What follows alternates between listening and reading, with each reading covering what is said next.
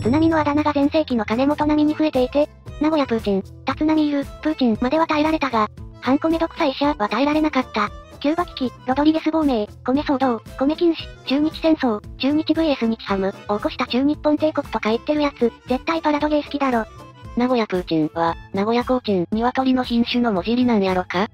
面白すぎや。反米ってそうよ。反米中日後輩集団、ってのもある。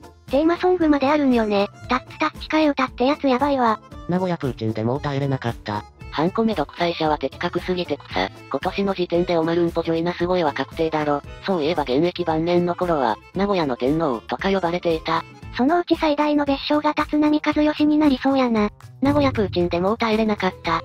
反米独裁者じゃないですよ。反、米、独裁者やからな。名古屋プーチンはセンス感じるわ。鶏生産者は迷惑だろうけどな。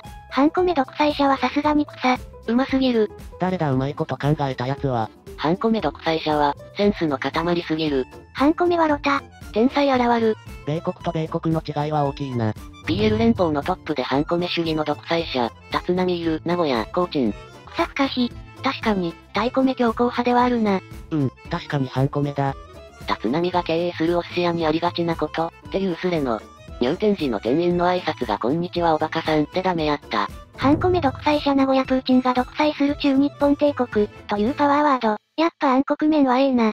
山川穂高が中日来ないのは、半米独裁者だからやな。立浪が半米独裁者なの面白すぎだろ。センスの塊。